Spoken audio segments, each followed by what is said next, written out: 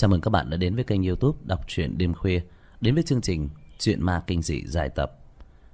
Xin gửi tới quý vị và các bạn Chuyện ma kinh dị Mao Sơn sát quỷ lệnh Tác giả Dạ Vũ Dạ Ngữ Biên dịch và diễn đọc Quảng Á Tốn. Like, comment và share video Để ủng hộ Quảng Á Tốn. Donate cho A Tốn qua các hình thức Số tài khoản ngân hàng Visa Debit Số ví Momo, địa chỉ Paypal được dán ở phần mô tả của video. Xin cảm ơn.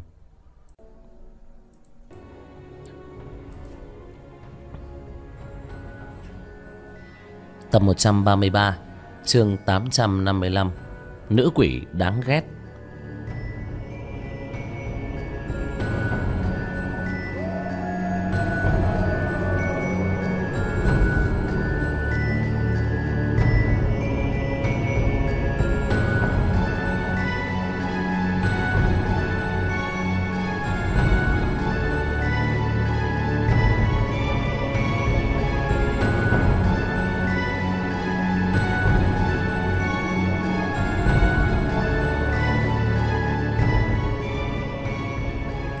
Vương Quân Diệt toàn thân bị những sợi tơ quấn lấy, chỉ còn lại đầu có thể hoạt động.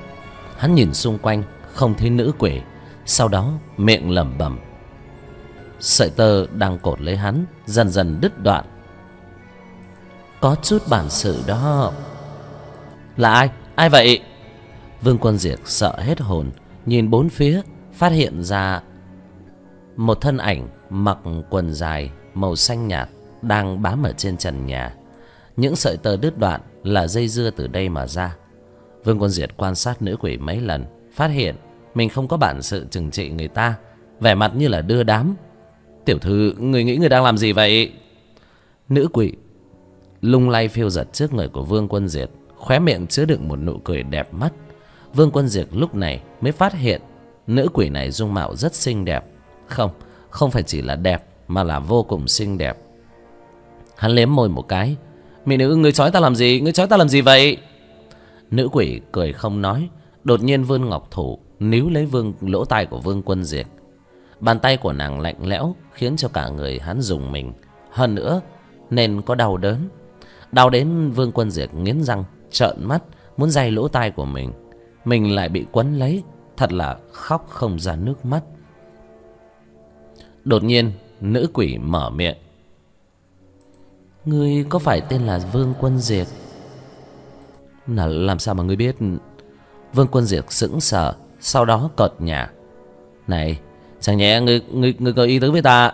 Tiểu thư ngươi mặc dù dung mạo rất đẹp Nhưng mà ngươi phải biết Hai người quỷ thủ đồ chúng ta không ấy đau đau nào buông tay. Ngươi nếu như còn nói bậy Cẩn thận Ta sẽ rách cái miệng của ngươi được rồi, được rồi, ta ta ta không có nói gì nữa, ta hứa ta không nói gì nữa. Vương Quân Diệt trong lòng vô cùng khó chịu. Chính mình đường đường là trưởng môn của Mao Sơn lại bị một nữ quỷ hành hạ. Nếu như để cho lão gia nhà mình biết, chắc chắn là sẽ bị thu thập. Không được, mình phải nghĩ biện pháp để chạy. Có thể có biện pháp gì đây? Nữ quỷ này chính là loại điêu ngoa vô cùng đáng ghét. Nàng khẳng định là đối với mình có ý tứ nếu không sẽ không thể để cho mình chạy. Vương Quân Diệt càng nghĩ càng tuyệt vọng. Hắn cúi đầu Đột nhiên dứt khoát nhìn nữ quỷ. Mỹ nữ mỹ nữ Người muốn làm cái gì thì nói đi Chỉ cần ta có thể làm được Thì dù có vào dầu sôi lửa bỏng Ta cũng không có chối từ. Người nói thật chứ? Ai, So với chân châu còn thật hơn đó. Nữ quỷ khẽ mỉm cười Như lòng bàn tay mà nói.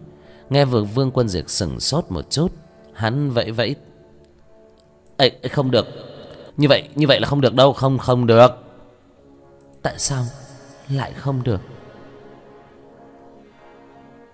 Nữ quỷ sắc mặt lạnh lẽo. Nếu như mà cô bảo ta vào trong địa phủ Xông vào cứu tướng công Ta không làm đâu. Ta cũng không có dám làm. 20 năm trước từ khi đại chiến Địa phủ trông coi càng nghiêm khắc. Cho dù ta là trưởng môn Mao Sơn Cũng không thể tùy tiện gia nhập địa phủ được. Theo như ta được biết trưởng môn Mao Sơn, là sư huynh của ngươi. Cô đánh giám trưởng môn là ta đó.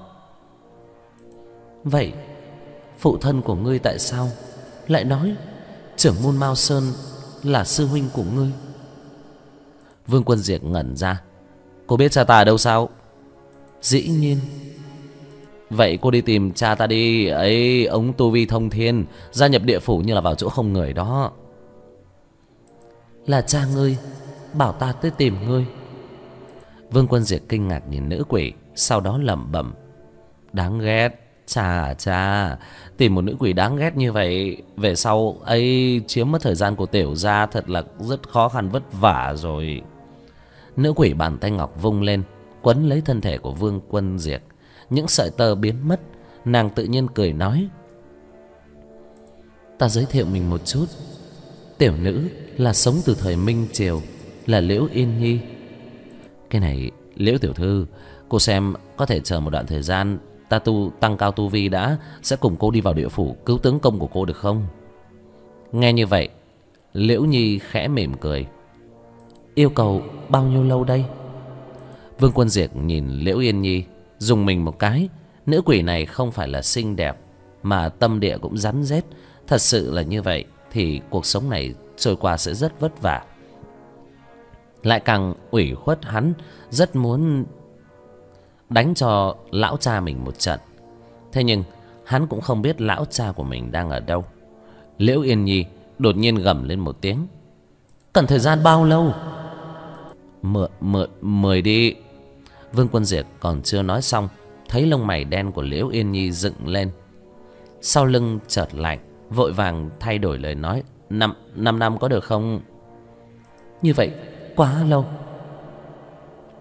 Vương quân diệt hết hy vọng. Đánh lại thì không đánh được chỉ có thể để mặc cho nữ quỷ này khi dễ. Vẻ mặt của hắn như đưa đám. Vậy vậy ngươi nói là bao lâu? Năm năm khẳng định không được. Khi đó chồng ta sẽ đi đầu thai chuyển thế. Nhiều nhất là hai năm. Hai năm? Vương quân diệt trợn mắt. Thời gian hai năm tu vi của hắn có thể tăng được bao lâu? Đến địa phủ nhất định sẽ bị âm binh quỷ xoa thu thập Hắn đã sớm nghe nói những thứ âm binh quỷ xoa kia dữ dội như thế nào. Tất cả đều là lão cha đáng chết của mình gây ra đại họa. Địa phủ, những vị này không đánh thắng lão liền khi dễ con trai của lão sao. Mấu chốt nhất là lão không giúp chuyện nhỏ. Người có ý kiến gì không? Liễu Yên Nhi một bộ dáng muốn thỏa thuận. Vương Quân Diệt vội vàng lắc đầu, sau đó lại gật đầu. Thôi thì hai năm thì hai năm hai năm sau ta nhất định cùng với ngươi đi địa phủ cứu tướng công của ngươi. Nói xong lời này, vương quân diệt dừng lại một chút. À cái này, liễu tiểu thư, cô có phải là là nên đi hay không? Ta, tại sao phải đi? Ê, cô muốn ở ỉ lại chỗ này sao? Vương quân diệt chỉ cảm thấy đầu váng mắt hoa, huyết khí xông lên. Mắt thấy một mắt nhắm một mắt mở bất cứ lúc nào cũng té xỉu, vốn cho rằng có thể đẩy tên sát tinh này đi. Thế nhưng hắn thật sự là muốn khóc. Liễu yên nhi ở trong căn phòng đi lại mấy vòng, đi tới bên cạnh vương quân diệt đây là nhà vệ sinh, ta cho ngươi tiền, đi mướn một gian nhà tốt, ta muốn ở phòng lớn. Này, cô xác định không phải là cô cho tiền tiền chôn theo người chết là vàng mã à Vương Quân Diệt gật đầu nhìn Liễu Yên Nhi. Hắn bây giờ còn muốn thông, đã đến nơi đây thì coi như cũng yên tâm. Đây cũng không còn biện pháp nào. Liễu Yên Nhi cười nháy mắt một cái, hướng Vương Quân Diệt khoát tay. Ta quên. Đây là nhân gian, cũng không thể dùng tiền chôn theo người chết. Như vậy đi, ta không có tiền, nhưng nhất định ta phải ở phòng lớn đó. Ôi mẹ ơi, mau đến thu thập yêu nghiệt này. Lông mày của Liễu Yên Nhi nhíu lại một cái, Lập tức những sợi tơ lại quấn lên vương quân diệt, Đánh treo lên sàn nhà. Nàng cầm chổi, quất túi bụi vào mông của vương quân diệt, Đánh cho hắn kêu cha, gọi mẹ. Sau khi khi dễ xong, Liễu Yên Nhi đem vương quân diệt hạ xuống. Hắn một bộ biểu tình thật sự rất khó chịu. Nhìn đến Liễu Yên Nhi, miệng cười không ngớt. Vương Quân Diệt trợn cặp mắt trắng dã. Thừa dịp Liễu Yên Nhi không chú ý, Nhanh chân chạy. Không sai biệt lắm, Độ khoảng nửa giờ, Hắn rốt cuộc Thoát khỏi ma chảo của Liễu Yên Nhi. Vương Quân Diệt tựa lưng vào vách tường, Thở hổn hển, trong lòng mắng liễu yên nhi và lão cha. Nghỉ ngơi vài chục phút, hắn đứng lên, bây giờ không thể về phòng, chỉ có thể tìm một chỗ nương thân vậy. Cách thời gian trường học chuẩn bị vào nhập học còn hơn một tháng, thừa dịp khoảng thời gian này không chừng có thể kiếm được tiền học phí. Trường học nhân khí thịnh vượng, liễu yên nhi tu vi mặc dù cao nhưng cũng không dám đi lại lung tung. Cũng không tệ, có lẽ phải đến trường học. Một ngày thời gian như vậy, vương quân diệt ý tưởng trong thâm tâm đã thay đổi. Bắt đầu có thể đọc sách, học tập, nhưng bây giờ nhất định là phải học. Lại có thêm một liễu yên nhi xinh đẹp như hoa như ngọc ở trong lòng của hắn chính là một ôn thần. Yên nhi đáng ghét nữ quỷ đáng ghét. Tiểu gia ta để tăng tu vi cao cường ta nhất định thu thập ngươi. Thu thập ai vậy?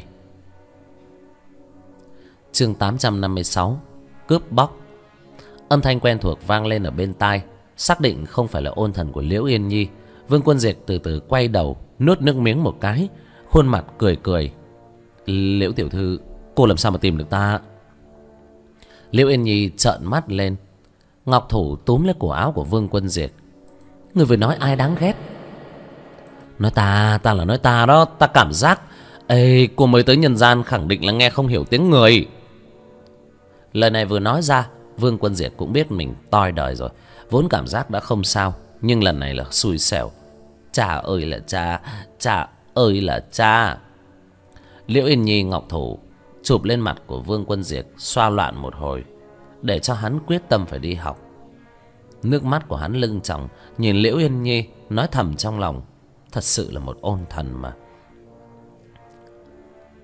Liễu yên nhi cầm cổ áo của vương quân diệt, đẩy hắn ngã xuống đất, sau đó kéo một chân của hắn lôi sành sạch, kéo đến phòng. Không cần phải nói, vương quân diệt bị liễu yên nhi kéo đi một hồi, đánh cho no đòn hắn ngồi xếp bằng ở giường. Sờ sờ khuôn mặt của mình, bị đánh vả cho sưng phù cắn môi, ngẩng đầu, liếc nhìn liễu yên nhi đang bám trên trần nhà. Trong lòng thật sự là đang suy nghĩ đến tâm tư báo thù. Hắn rất muốn khóc. Ngày tiếp theo, liễu yên nhi đem vương quân diệt từ trên giường dựng dậy. Sau khi nói một chàng, vương quân diệt buồn bực gật đầu. Bất kể liễu yên nhi nói gì, hắn đều đáp ứng. Nửa giờ sau vương quân diệt xuống xe buýt ngẩng đầu đánh giá xung quanh. Hắn cũng không biết đây là đâu. Cái bụng kêu ủng ục. Hắn lẩm bẩm bất kể nhiều tiền như vậy ê, cứ no bụng đã. Tìm một quán ăn nhỏ muốn gọi một tô mì thịt bò ăn nhanh và gọn cho xong. Ở bên ngoài truyền đến tiếng vang trầm trầm cũng không ai biết xảy ra chuyện gì. Vương quân diệp đang chờ tô mì thứ hai mang lên nghiêng đầu vừa nhìn thấy liễu yên nhi đang ngồi bên cạnh. Hắn vội cúi xuống, làm bộ như không thấy. Liễu yên nhi cười nói, vỗ vỗ đầu của vương quân diệt. Quân diệt, không thấy tỷ tỷ sao? Vương quân diệt cũng buồn bực không nói. Liễu yên nhi dùng sức, túm lấy cổ hắn. Vương quân diệt đau đến nhà răng trợn mắt cũng không dám kêu, nhỏ giọng, liễu tiểu thư, tìm tiểu đệ có chuyện gì? Liễu yên nhi chỉ chỉ bên ngoài.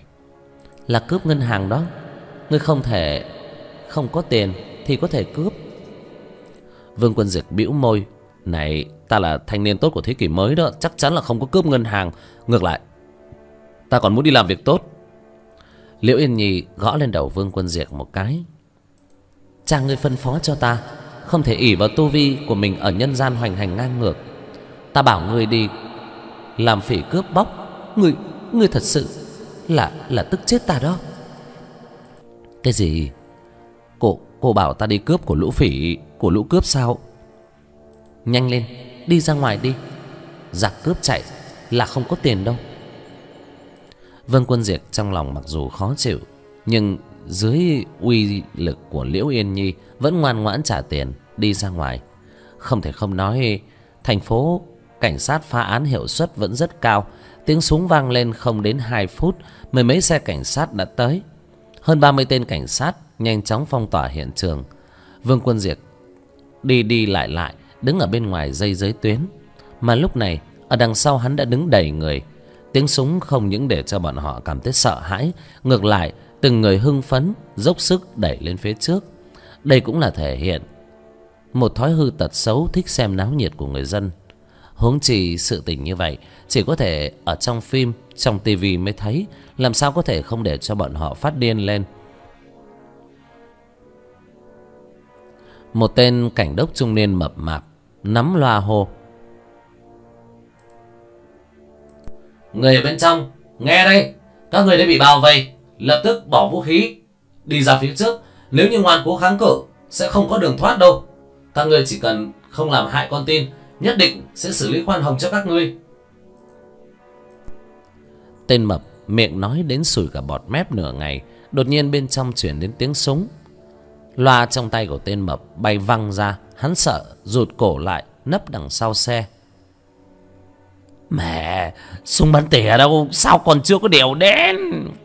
Tên mập lo mồ hôi ở trên trán. Vừa nói xong, có một nhóm tay cầm súng bắn tỉa chạy tới. Sau khi mấy tay súng bắn tỉa yên vị, tên mập cũng có thêm uy lực, cầm lên cái loa, tiếp tục hô đúng lúc này, liễu yên nhi nhẹ giọng nói bên tai của vương quân diệt quân diệt giặc cướp giết người đó. Vương quân diệt nghiêng đầu, kinh ngạc nhìn liễu yên nhi, nửa ngày nói ra một câu. Ờ làm sao mà cô biết? Ngươi không ngửi được mùi máu tanh sao? Nhưng mới vừa rồi, đâu có nghe được tiếng súng vang lên. Liễu yên nhi một bộ phận muốn phát điên lên với cái tên này ngoại trừ súng người ta còn có dao đó. Vậy thì cô nhanh đi cứu người đi. Ta không đi.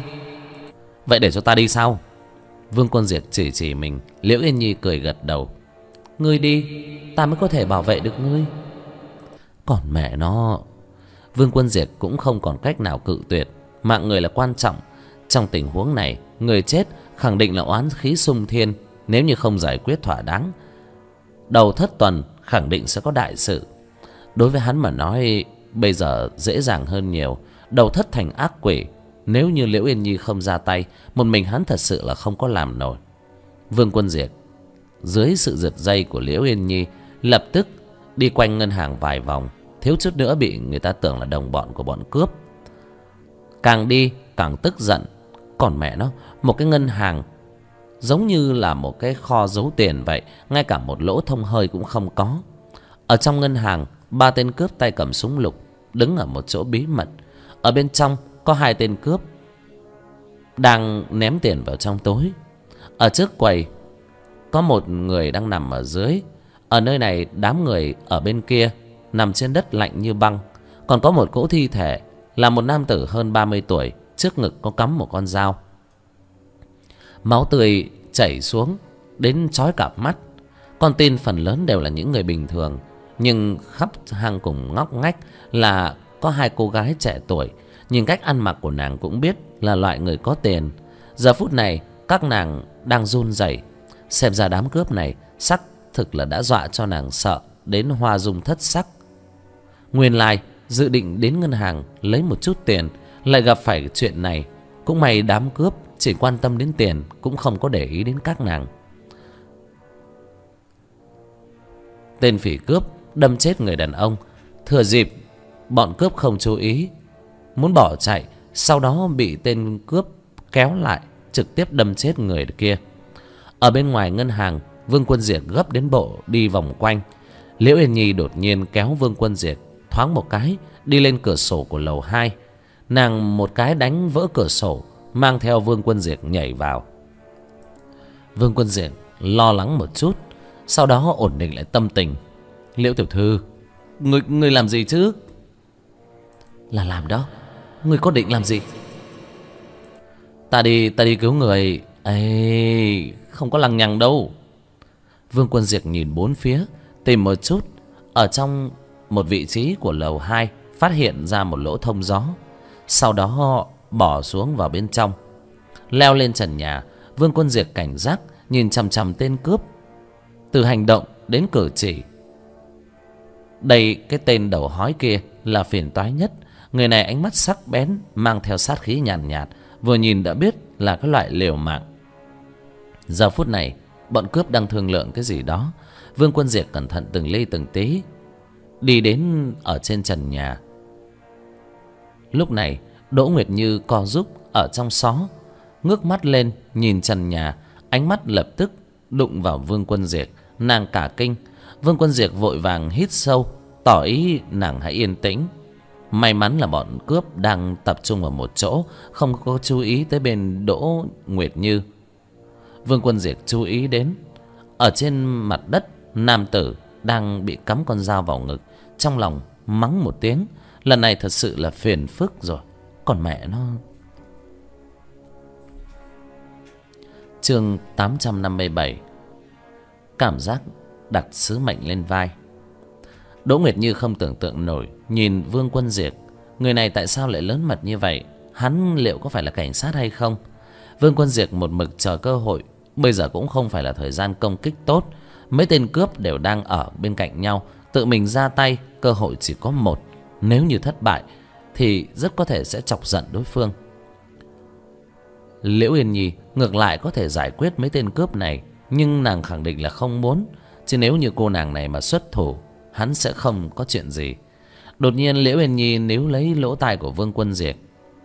Quân diệt, ngươi lại chửi thầm ta trong lòng sao? Vương quân diệt bị làng bất thình lình, làm cho động tác sợ hết hồn. Hắn lại không dám lên tiếng, cũng không làm ra động tĩnh gì quá lớn. Khó chịu trợn mắt, nhìn liễu yên nhi. Ngay sau đó từ trong túi sách, móc ra năm cái ngân châm. Thứ đồ chơi này là vật hộ thân của hắn, bây giờ đã đến lúc phát huy tác dụng.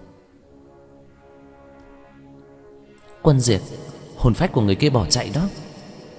Vương quân diệt cả kinh, định thật nhìn lại. Quả nhiên thấy hồn phách của người kia, hai mắt đỏ ngầu. Vừa nhìn quanh sảnh của ngân hàng, sau đó bay ra ngoài. Lần này thì không xong rồi, vừa mới xuất hiện đã là lệ quỷ. Vậy thì oán khí lớn đến mức nào?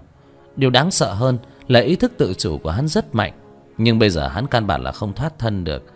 Ôn thần liễu yên nhi này khẳng định là sẽ trừng trị mình đúng lúc này, bọn cướp tản ra, ba tên cướp đi vào trong quầy. Hai tên khác quay lại vị trí canh gác.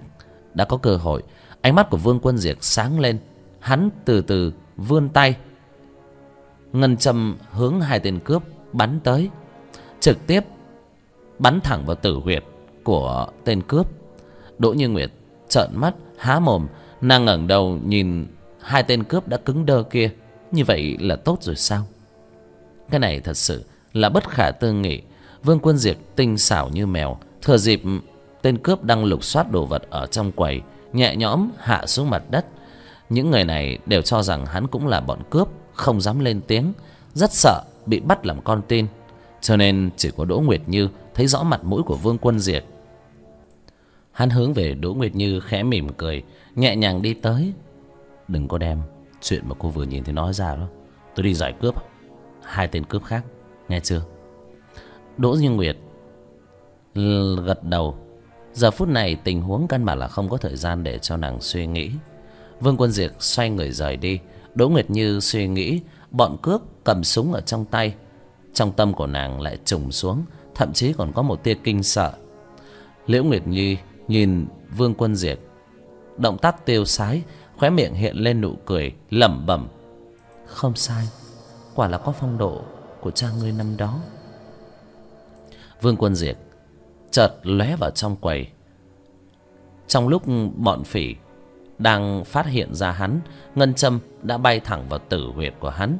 Hắn vỗ tay, lần này đã an toàn, đi đến rút ra ngân châm, sau đó dưới sự giúp đỡ của liễu yên nhi, đi theo lỗ thông hơi mà thoát. Đỗ nguyệt như lo lắng, đề phòng, đứng lên ở bên cạnh, nàng một mực cúi đầu, vội vàng kéo nàng, lắc lắc. Đỗ nguyệt như cười một tiếng. Chúng ta đã an toàn. An toàn. Đỗ nguyệt như đi tới bên cạnh tên cướp, đưa tay đẩy tên cướp. Tên cướp ngã xuống đất, nàng vội vàng hô lên với người khác. Mọi người nhanh đi ra ngoài, chúng ta đã an toàn. Con tin hốt hoảng chạy ra, cảnh sát đi vào. Khi bọn họ nhìn đến thi thể của bọn cướp, đều ngẩn ra. Đội trưởng bọn họ bọn họ chết hết rồi, chết hết rồi. Chết như thế nào?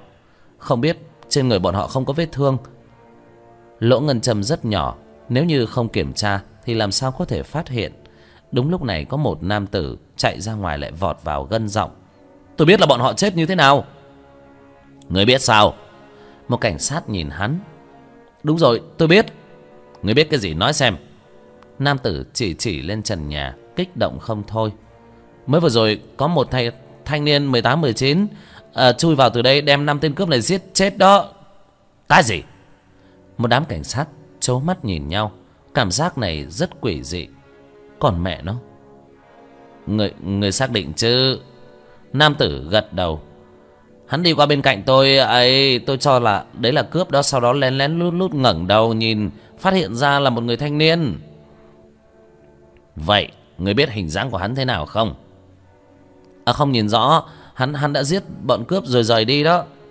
Nam tử chỉ chỉ lên trần nhà. Cảnh sát chố mắt nhìn nhau. Nhìn trần nhà cao đến hơn 4 mét. Từ nơi này đi vào, Rồi rời đi. Các người mau đuổi theo. Nó không chừng có thể tìm được hắn. Nói xong, Nam tử hào hứng chạy ra ngân hàng. Vương Quân Diệt rời khỏi ngân hàng. Liễu Yên Nhi dẫn đường, Hướng chỗ hồn phách người lúc trước Đuổi theo. Giờ này nhất định phải nhanh chóng Tìm đến hồn phách của thi thể. Hắn bây giờ oán khí rất nặng, Tuyệt đối không thể để lâu được. Quân Diệt, Ngươi làm chuyện tốt, Nhất định sẽ có tiền thưởng. Ngươi không muốn sao? Ta làm chuyện tốt, Không cần phải lưu danh đâu. Thôi đi, Vừa nhìn ngươi cũng biết là con hàng keo kiệt. Vương Quân Diệt Lại tức giận, Nhưng cũng không có đánh lại được Liễu Yên Nhi. Chỉ có thể lầu bầu lầm bầm. Hắn nói với Liễu Yên Nhi, Bây giờ mấu chốt là phải tìm được hồn phách của người đã chết. Bằng không, đến đầu thất tuần, Hoàn hồn, Thật sự là ngân hàng kia sẽ máu chảy thành sông đó. Bọn cướp không phải đã chết sao? Nghe vậy, Vương quân diệt kỳ quái, liền nhìn Liễu Yên Nhi. Liễu tiểu thư, Người có phải là quỷ hay không? Người có ý gì vậy? Liễu Yên Nhi mắt phượng trợn lên, Nhìn Vương quân diệt Vương quân diệt từ tốn. Oan khí của hắn rất nặng, Đến như đầu thất hoàn hồn. Là hắn lấy hình thức hồn phách của mình ở nhân gian. Bọn giặc cướp dù đã chết, Nhưng hắn vẫn trở lại ngân hàng. Hiểu chưa? Đây người ta gọi là tiềm thức trước khi chết đó. Đến lúc đó Mà gặp người sống, Sợ rằng hắn sẽ giết hết. Nghiêm trọng như vậy sao? Đúng rồi, Những thứ này đều là lão cha ta nói đó. Người chết oan, chết thảm. Thì cần phải tìm trước tới. Ta nghe cha ta nói, Lúc lão mới đi vào trong đô thị, Đã gặp phải một nữ tử nhảy lầu chết. Cô gái kia ôm hận liên miên. Còn chưa đến đầu thất hoàn hồn, Nàng đã giết quá nhiều người. Bất quá vẫn bị lão cha ta đánh cho hồn phi phách tán. Nói đến cha mình, Trên mặt của Vương Quân Diệt Hiện ra nụ cười để tự hào. Hắn nói Người tự sát là không tiếc sinh mệnh Nhưng hóa giải oán khí là vẫn phải có. Lần này người chết là chết trong tay của bọn cướp Là người chết oan Ta không thể nào ngồi yên không để ý được. Được, được rồi. Liễu tiểu thư Tu vi của cô Cao Cường có thể cảm giác được hắn ở đâu không? Liễu Yên Nhi lắc đầu Vương Quân Diệt bất đắc dĩ Thở dài.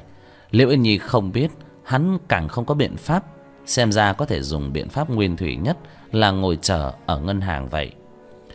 Ngày này, có thể nói là Vương Quân Diệt sau khi xuống núi Là một ngày trải qua kích thích nhất, Đồng thời cũng là một ngày nhanh nhất. Đi đến thành phố Lỗ Hải, Cha hắn đã từng dặn, Bọn họ nhất định là hành tàu trong đám người đen tối. Hơn nữa, Bọn Vương Quân Diệt sinh ra và lớn lên là ở thời đại mới, So với 20 năm trước thì càng thêm khốc liệt. Bởi vì đạo Pháp xa sút, Khoa học kỹ thuật càng phát triển, Những người tin vào quỷ thần càng ngày càng ít. Có lúc, bọn họ đi đến đô thị, Thậm chí nửa bước cũng khó. Thế nhưng bọn họ luôn phải kiên trì. Đại chiến 20 năm trước, Yêu ma quỷ quái dốc toàn bộ lực lượng. Mặc dù bị tiêu diệt không ít, Nhưng cũng vẫn còn khôi phục. So sánh với 20 năm trước, Bây giờ yêu ma quỷ quái ẩn nấp, Tu vi nhất định còn mạnh hơn. Hắn thật sự cũng không có chí hướng gì cao xa, Chỉ muốn được như cha mình mà thôi, Là thiên sư bảo vệ nhân gian. Chương 858 Ô Minh phân chia. Liễu Yên Nhi nhìn khí thế ngẩng cao đầu Vương Quân Diệt Khóe miệng nụ cười hiện lên. Mặc dù nàng đối với phụ thân của Vương Quân Diệt Cũng không có hiểu bao nhiêu, Nhưng theo rất nhiều yêu ma quỷ quái kể lại cũng có nghe lại sự tích anh hùng của hắn. Hắn là một trong những anh hùng cứu vãn tam giới, Cũng là người bảo vệ nhân gian. Liễu yên nhi sống ở thời minh triều, cùng tướng công của mình cùng chết. Bất quá, nàng thủy chung là đại gia khuê tú, cho dù là quỷ, trên tay cũng không dính máu người. Nàng có thể có tu vi ngày hôm nay cũng là phúc của tướng công nàng để lại. Cũng vì vậy, tướng công của nàng mới bị đánh vào địa ngục chịu nỗi khổ trăm năm. Năm trăm năm, nàng thừa nhận nỗi khổ tương tư sầu khổ, cũng muốn trăm năm biện pháp. Thế nhưng, trong nội tâm của nàng rất rõ, bằng vào sức lực một mình, muốn xông vào địa phủ, cứu tướng công, căn bản là không có khả năng. Nàng vẫn muốn tìm những yêu ma quỷ quái lợi hại kia, hỗ trợ. Ở trường bạch sơn, nàng đụng phải một cô gái tuyệt đẹp. Cô gái bảo, liễu yên như đi tìm tiểu thất hỗ trợ. Liễu yên nhi đi tìm tiểu thất, ước chừng ở chỗ bọn tiểu thất quỳ nửa tháng. Trong lúc càng trải qua không ít đau đớn. Thế nhưng, liễu yên nhi cũng không có lùi bước, vẫn một mực kiên định muốn cứu vãn tướng công.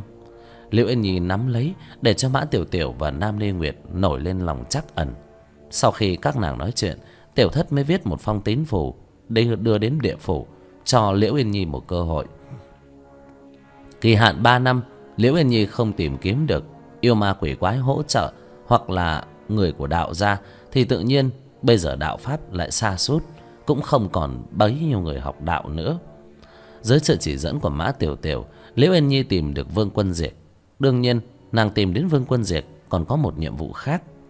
Tiểu thất phân phó cho nàng nhiệm vụ, cho nàng trông coi vương quân diệt, trợ giúp vương quân diệt lịch luyện, tăng trưởng lịch duyệt của hắn liễu yên nhi tự nhiên mừng rỡ.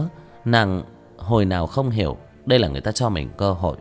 Nàng đi khắp hoa hạ khoảng thời gian này, nàng cũng phát hiện ra rất nhiều sự tình không ổn. Qua hai mươi năm trước chàng đại chiến, rất nhiều yêu ma quỷ quái kia đã khôi phục. Mặc dù thời đại khoa học kỹ thuật cực kỳ phát triển, cũng có một số yêu ma quỷ quái bị người ta sử dụng những biện pháp khoa học kỹ thuật để đối phó thế nhưng cũng chỉ đối phó với một ít tiểu yêu, tiểu quỷ. Yêu ma quỷ quái có tu vi một chút, thủ đoạn bình thường làm sao có thể đối phó? Huống chi, nàng phát hiện yêu ma quỷ quái ở trong mắt tiểu thất chỉ là con kiến hôi mà thôi. Vương quân diệt nhìn liễu uyên nhi liễu tiểu thư, ngươi là người sống từ minh triều, ở nhân gian mấy trăm năm. Đối với thế giới hiện đại, ngươi có ý kiến gì không? Liễu uyên nhi đôi mắt đẹp nhìn vương quân diệt trong phút chốc ngươi nghĩ biết điều gì? Vương quân diệt khẽ mỉm cười. Ta nếu như quyết định thủ hộ nhân gian như vậy đối với yêu ma quỷ quái ta phải có hiểu biết. Mặc dù ta chưa thấy qua bao nhiêu nhưng ta cũng biết. Yêu ma quỷ quái khôi phục nhất định lại một lần nữa sẽ hiện thế đó. Liễu yên nhi trong phút chốc yên lặng gật đầu một cái. Như vậy người có thể nói cho ta một số chuyện được không? Có thể. Ờ à, vậy thì tốt vương quân Diệp cười nói, năm ta mười ba tuổi, tỷ tỷ của ta sau đó cùng với mẹ bắt một lệ quỷ xâm phạm vào trung lam sơn. Từ trong miệng hắn mới biết được, yêu ma quỷ quái khôi phục lại tạo lập thêm được một thế lực. Nghe nói lệ quỷ kia, hắn là một phần của thế lực huyết hồn. Thế lực này có năm con quỷ vương, vô số lệ quỷ khác. Theo như lời của nó, huyết hồn phái vẫn chỉ là một thế lực nhỏ bé. Vì vậy ta có thể tưởng tượng những thứ tà ác, thế lực lớn kia thực lực tuyệt đối không thấp. Liễu uyên nhi gật đầu, nàng chậm rãi. Ngươi nói không sai, ta cũng phát hiện. Trừ huyết hồn phái mà ngươi vừa nói, ta còn biết đến tuyệt mệnh cốc, âm thi sơn. Âm thi sơn chính là tà tu xây lên. Bọn họ đào những thi thể của người mới chết không lâu, đem thi thể luyện thành thi khôi, đồng thi, thiết thi và kim cương thi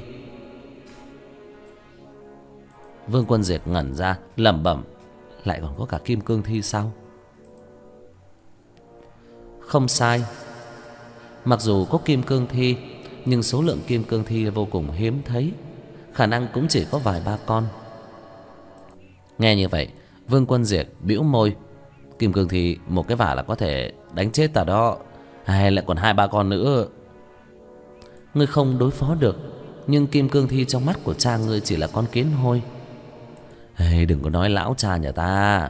Người đã đem ta nhét vào hỗ hải này. Rồi mang theo hai bà vợ của người đi cùng với tỷ tỷ của ta nữa đi du sơn ngoạn thủy rồi. Đến bây giờ ta cũng không muốn nghĩ đến nữa thật là đau lòng đó. Liễu yên nhi che miệng cười một tiếng. Chúng ta đi về trước. Trước mắt tìm hồn phách của người đã chết ở ngân hàng là quan trọng. Vương quân diệt gật đầu. Một đường tu đạo phải như sắt thép ý chí, không thể mộng tưởng xa vời. Một môn phái mao sơn, quả là danh bất hư truyền. Vậy là một người một quỷ quay về phòng. Vừa vào phòng, liễu yên nhi nói với vương quân diệt, người đã tới nơi này. Liễu yên nhi cảm giác quả nhiên không sai. Vương quân diệt tìm trong hộc tủ, thấy một tờ giấy cùng với một ba lô. Ở trong ba lô có rất nhiều cách làm cùng với một thanh kiếm gỗ đào và sách vở ở bên cạnh ba lô còn có một ừ, cây gỗ bọc một đồ vật đen nhanh nhánh. Vương quân diệt hiếu kỳ nhìn xung quanh một chút, phát hiện là một cây thiêu hỏa côn. Đúng lúc này, liễu yên nhi đột nhiên nói, quân diệt, đây có phải là một thanh kiếm? Ta cũng không biết. Vương quân diệt đáp, ngươi xem này. Liễu yên nhi tinh mắt, thoáng một cái liền thấy ở phía dưới thiêu hỏa côn có một khe nứt dọc theo chiều dài của thiêu hỏa côn cùng với vị trí của khe nứt, đúng là một thanh trường kiếm. Ngươi mở ra xem một chút. Được rồi, để ta thử. Vương quân diệt cầm lấy thiêu hỏa côn, dùng sức lắc một cái, mặt hắn đỏ bừng lên, thiêu hỏa côn vẫn không nhúc nhích. Để ta thử xem. Liễu yên nhi nói một câu vương quân diệt đem thiêu hỏa côn đưa cho liễu yên nhi, ngồi trên giường thở hổn hển.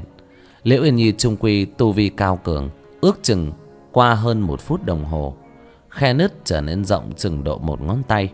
Hàn quang bắn ra, liễu yên nhi kêu thảm một tiếng, thiêu hỏa côn bị ném đi. Nàng dựa vào vách tường, ôm mặt thống khổ rên rỉ.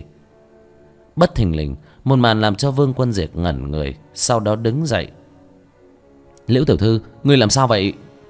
Liễu yên nhi không tiếp lời, chỉ chậm chạp ngẩng đầu. Nhìn đến mặt mũi của nàng thì vương quân diệt sợ hết hồn. Người người bị phá quỷ thân. Liễu yên nhi gật đầu một cái. Vương quân diệt niệm có hồn nguyền rủa đánh lên người của nàng. Liễu yên nhi quỷ thân dần dần che giấu, khôi phục lại bộ dáng nguyên bản. Thế nhưng, hắn vẫn có thể cảm giác được khí tức của nàng uể oải, chỉ sợ không phải là quỷ thân bị phá đơn giản như vậy. Liễu yên nhi chỉ chỉ cây thiêu hỏa côn ở trên đất là một thanh bảo kiếm. Người có đầy đủ tu vi là có thể lấy ra dùng. Vậy vừa rồi ngươi, ta vừa mới rút kiếm, bị kiếm khí gây thương tổn. Vương quân diệt kinh ngạc không thôi, nhặt lên thiêu hỏa côn. Thanh bảo kiếm này mà lại lợi hại đến như vậy, đáng tiếc tu vi của hắn bây giờ còn thấp, không thể rút ra. Nếu như có thanh kiếm này, yêu ma quỷ quái vẫn không thể nhượng bộ lui binh sao? Một hồi lâu liễu yên nhi mới khôi phục lại một chút khí lực. Nàng chậm rãi nói, những thứ này hẳn là cha ngươi, sai người đưa tới. Ừ ở trên tờ giấy viết là sư huynh ta đưa tới. Ta rất thắc mắc, hắn làm sao biết ta ở đây? Liễu yên nhi lộ vẻ sầu thảm. Bằng với bản sự thông thiên của cha ngươi, muốn tìm ngươi không đơn giản sao? Ờ ờ cũng phải đó. Chương tám trăm năm mươi chín, lệ quỷ lấy mạng. Vương quân diệt gật đầu, nhìn liễu yên nhi khí tức uể oải, hỏi nhỏ. Vậy cô yêu cầu bao lâu mới có thể khôi phục được? Liễu yên nhi không đáp, nhìn bốn phía, lúc này mới nói. Nếu như ở đây, khả năng phải mất ba ngày thời gian. Bất quá nếu như ở nơi âm khí dồi dào, chỉ có thể mất nửa ngày là khôi phục. Nghe vậy dương quân diệt gãi đầu ấp ống.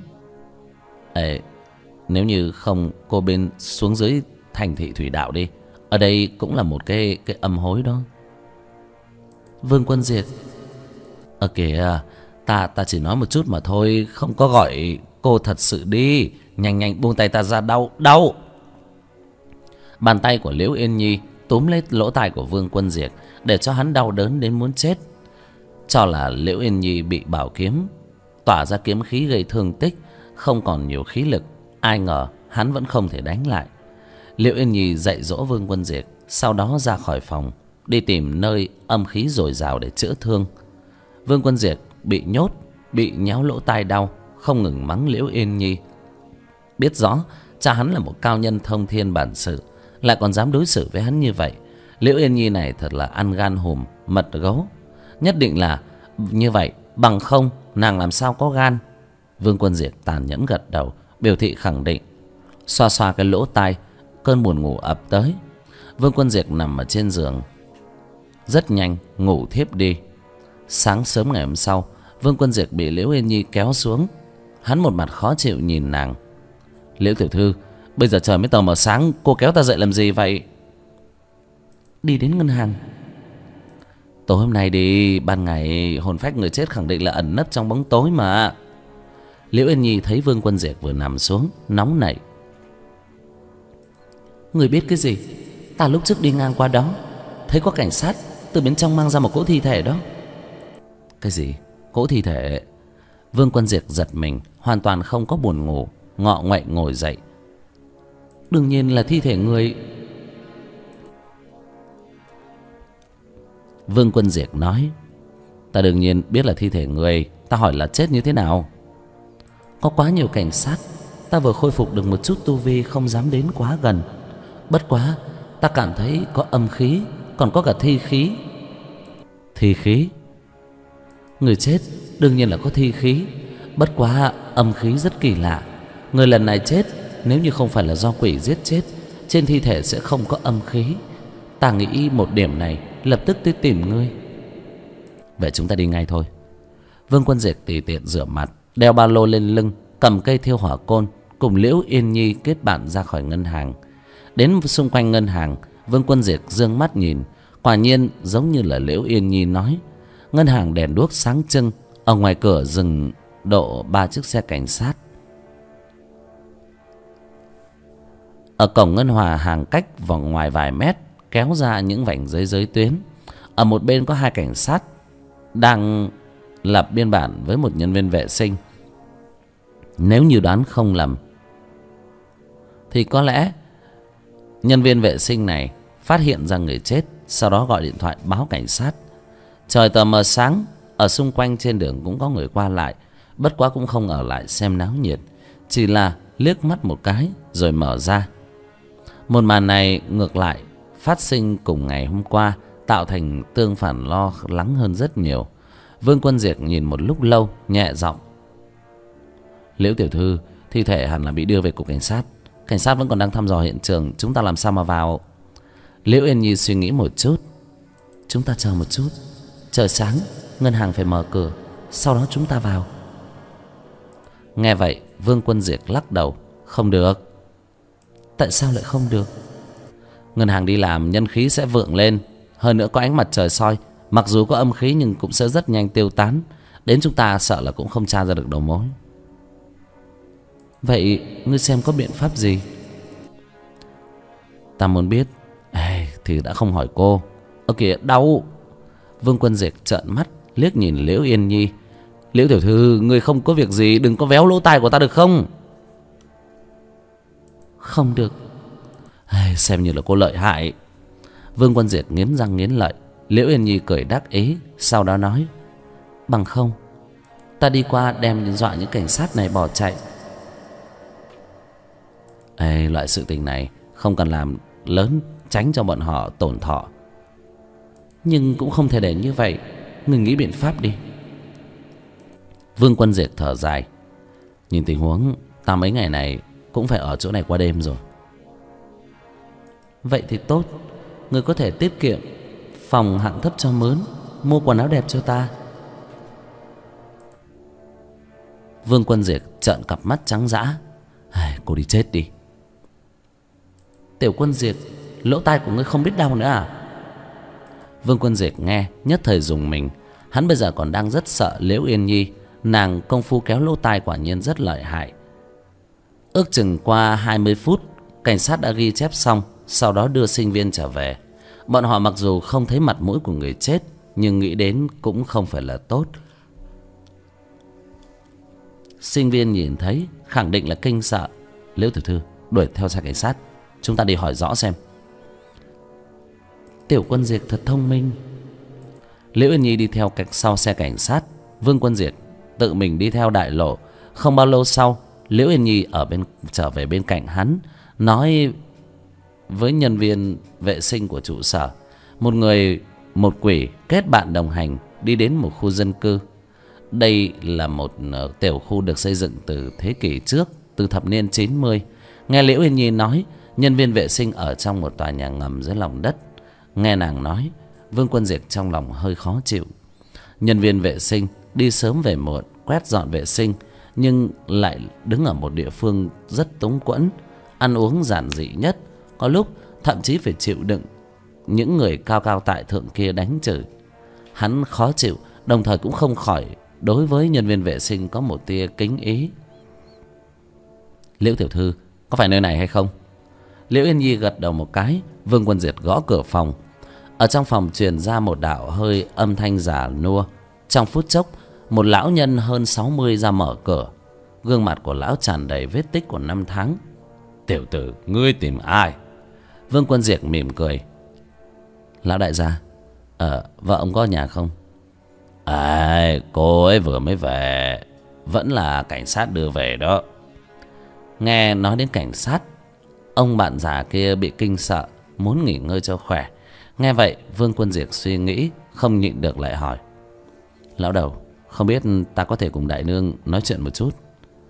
Tiểu tử vậy ngươi vào đi. À, vợ của ta bà đang ăn điểm tâm. Vương quân diệt đi theo sau lưng của vợ chồng già xuống dưới phòng ngầm, nhìn bốn phía. Hai vợ chồng lão đầu sinh hoạt rất túng quẫn. Lão đầu cũng nhiệt tình, mang một bộ chén đũa cho vương quân diệt, múc cho hắn một chén cháo nóng. Hắn nhìn cháo nóng gạo trắng, nóng hổi, vẫn không nhịn được, thoáng một cái uống ba chén lớn, cùng hai cái bánh bao to. Ăn xong điểm tâm, lão đầu cười híp mắt tiểu tử. Người có cái gì muốn hỏi thì hỏi đi. Vương quân diệt gật đầu, ánh mắt nhìn về phía đại nương, phát hiện ánh mắt của nàng có chút tan rã. Đây là biểu hiện kinh độ, kinh sợ quá độ, bất quá ánh mắt của nàng vẫn kiên định, nói rõ cũng không nghiêm trọng lắm. Vương quân diệt cắn ngón tay, ở trên đầu của bà cụ vạch một cái. Ánh mắt của bà cụ dần dần khôi phục lại. Tiểu tử, cảm ơn ngươi đại nương, người có thể nói cho biết người lúc trước nhìn thấy gì không? Ánh mắt của đại nương hơi kinh hoàng. Sau đó, bá nhỏ giọng, tiểu tử, nói rằng ngươi còn không tin, ta thấy cương thi đó. Cương thi, vương quân diệt ngẩn ra, nghiêng đầu nhìn liễu yên nhi, hỏi tiếp, đại nương, người có nhìn nhầm không? Đại nương lắc lắc đầu, ta không nhầm nó cắn đồ vật, cắn người, hơn nữa khí lực rất lớn. Thoáng một cái, có thể đánh phá cửa lớn của ngân hàng. Ta còn nhìn ở bên trong ngân hàng có một người điên điên khùng khùng nhảy về phía trước. Trong chốc lát, người kia ngã lăn ra đất, thân thể của hắn khô héo. Chương tám trăm sáu mươi, quỷ, cương thi, sự tình không đơn giản. Nghe đến đây vương quân diệt lại liếc mắt nhìn liễu yên nhi. Liễu yên nhi lắc đầu, biểu thị mình không biết. Đại nương, sau đó điều gì xảy ra? Đại nương suy nghĩ một chút. Ta nhìn thấy cương thi đánh vỡ cửa ngân hàng, sau đó đánh về phía thi thể khô héo, sau đó cương thi hét to ở đại sảnh. Ta sợ liền trốn qua một bên gọi điện báo cảnh sát. Sau đó, cương thi chạy. Không bao lâu sau cảnh sát đã tới vương quân diệt gật đầu một cái. Đại nương biết rõ chính là chỗ này. Sau đó, hắn và chồng của đại nương nói chuyện nhà. Hiểu được lão phu thê này từ hai mươi năm trước đều đã sống rất bình lặng. hai mươi năm trước, vương quân diệt tự nhiên biết rõ có chuyện gì xảy ra. Con cái của đại nương chắc là ở trong chàng hạo kiếp hai mươi năm đã chết. Để lại hai lão nhân bọn họ, cô quạnh lẻ loi trăm năm sau có chết thì cũng chẳng có ai đưa ma thê lương vô cùng. Mặt trời lên chiếu xuống vương quân diệt không muốn quấy rầy trần đại nương nghỉ ngơi liền đứng dậy cáo từ. Tiểu tử à, không ngồi một chút sao? Lão đầu ta còn có việc. Chờ lúc nào có thời gian tới tìm nhị lão. Lão đầu cười híp mắt. Tình cảm à, thật tốt. Ra khỏi tiểu khu vương quân diệt lưu ý tên của tiểu khu liễu yên nhi nhẹ giọng. Tiểu quân diệt nhìn ngươi cùng bọn họ nói chuyện, lúc tâm sự nặng nề, có phải hay không? Vương quân diệt thở dài, cắt lời của liễu yên nhi. Liễu tiểu thư, hai con cái của hai người già bọn họ hẳn là trong tràng hạo kiếp của hai mươi năm trước đã chết.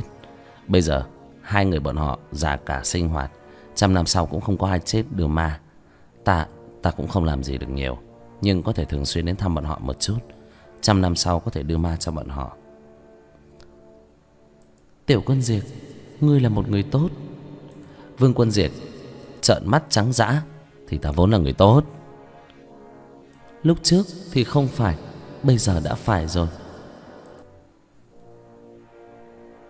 Nghe đại nương nói, về sau, người chết hẳn là bị lệ quỷ hút tinh khí toàn thân. Về phần cương thi, ta không hiểu rõ lệ quỷ, cương thi, sự tình càng ngày càng không đơn giản. Ta bất kể, cương thi hay lệ quỷ, lần này đều muốn diệt trừ bọn chúng. Khẳng định là như vậy. Liễu yên nhi cười nói, đi đi ngân hàng. Bọn họ đi tới ngân hàng, đi đến ở cánh cửa kính chống đạn cuối cùng. Bọn họ thấy được độ dày của thủy tinh trong lòng cả kinh. Thủy tinh này phải có độ dày đến hai đốt ngón tay, đạn cũng không có xuyên thủng lại bị cương thi thoáng một cái, đâm cho nát bét. Huống chi, cửa cuốn cũng bị kéo xuống. Loại lực lượng này có thể là không phải cương thi bình thường có được. Nhưng cương thi bình thường, mặc dù lực lượng bạch mao cương cũng không nhỏ, muốn một thoáng đụng hai ngón tay, phá vỡ kính chống đạn cũng vẫn không có khả năng. Mặc dù phi thi cũng phải mất một ít thời gian. Không lẽ là phi thi cũng không thể nào đại nương nói, cương thi là phi thi. Tiểu quân diệt mau tới đây. Liễu yên nhi đột nhiên hô lên, vương quân diệt nghiêng đầu vừa nhìn, thấy liễu yên nhi đứng bị lôi kéo xuống bên cạnh. Vương quân diệt đi tới, sao vậy? Liễu yên nhi chỉ chỉ cửa cuốn, ngươi xem, ở trên cửa cuốn có mắc thịt vụn. Cái gì? Thịt vụn? Vương quân diệt ngồi xổm xuống, cẩn thận nhìn một hồi ở trên cửa cuốn phát hiện có một ít thịt vụn. Những thịt vụn này đã tản ra thi khí nhàn nhạt, nhạt thịt đã sớm giữa nát thành màu đen xám. Thi thể giữa nát đến trình độ này xuống mồ phải nhất là một năm trở lên. Liễu yên nhi sắc mặt hơi ngưng trọng nói tiểu quân diệt ta nghĩ đại nương kia nói cương thi. Cho có thể là thi khôi ở núi âm. Thi khôi? Vương quân diệt cả kinh. Vậy thi âm sơn hiện thế rồi sao? Ta cũng không rõ. Thế nhưng thịt vụn này nhất định là thi thể. Hơn nữa là loại thi thể đã chôn xuống. Ngươi suy nghĩ một chút. Ở niên đại này, thi thể bình thường đều là hỏa táng. Chỉ có những ở sơn thôn xa xôi mới đem thi thể chôn xuống đất. Hoặc là một số dân tộc thiểu số thi thể không hỏa táng, chỉ có thể xuống mồ. Liễu yên nhi nói, ta nói rồi. Thi âm sơn chính là đào thi thể để luyện thi khôi, đồng thi là những thứ này đó. Vương quân diệt gật đầu, nhưng mà ta có chút không rõ, thi âm sơn làm sao lại tìm một cái thi khôi ở ngân hàng? Bản thân ta cũng không biết. Vương quân diệt cau mày, đột nhiên đáp, liễu tiểu thư, người nói có phải là có liên quan đến người chết hay không? Tại sao ngươi lại nói như vậy? Cô nghĩ xem, trong nháy mắt đem tinh khí của người này hút cạn, lệ quỷ tuyệt đối không phải loại lương thiện, ước chừng phải hút nhân khí. Tại sao hết lần này tới lần khác lại chọn ở đây? Còn thi khôi, tại sao cũng xuất hiện ở đây? Hơn nữa hai người đến cùng là có liên quan gì? Liễu yên nhi nghe vương quân diệt phân tích cảm thấy cũng có đạo lý. Tiểu quân ngươi nói không sai. Thi khôi muốn hút máu đại nương kia khẳng định là sẽ không sống được. Cho nên ta phỏng đoán lệ kỷ và thi khôi xuất hiện ở đây khẳng định là có liên quan đến người chết.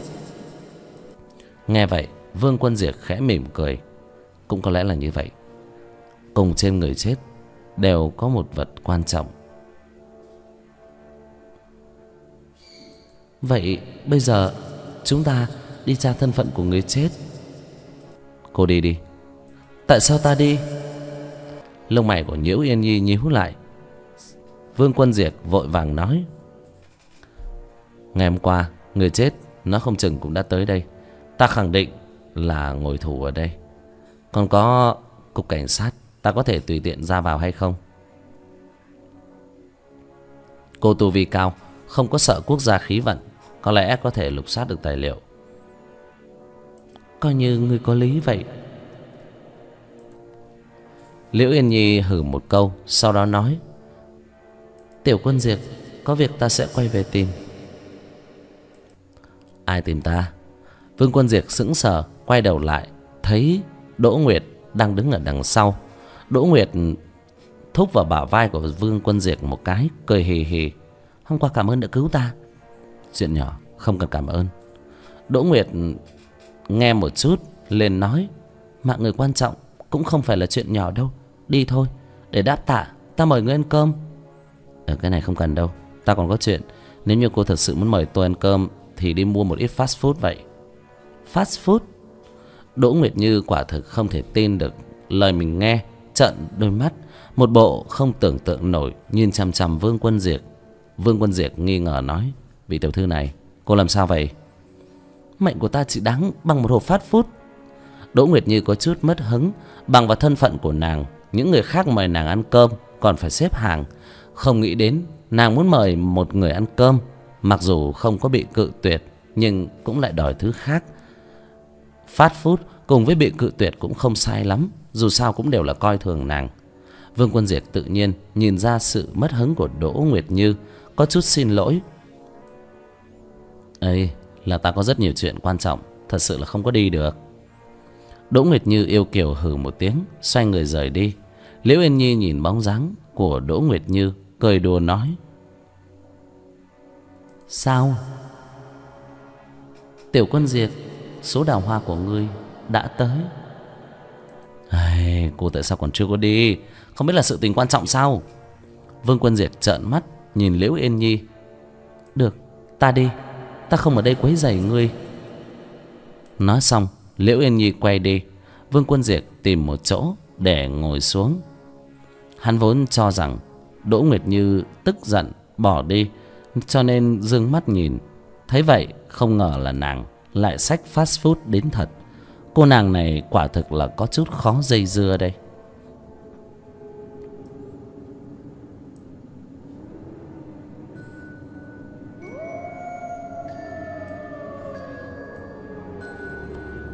Hết chương 860 Hết tập 133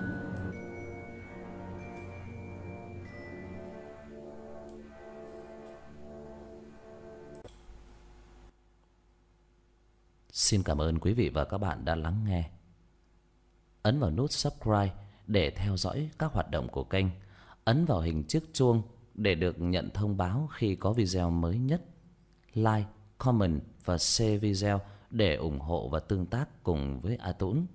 Và đừng quên hãy donate cho A Tũng qua các hình thức ví Momo, số tài khoản ngân hàng, số tài khoản PayPal đã được dán ở phần mô tả của video. Xin cảm ơn và hẹn gặp lại.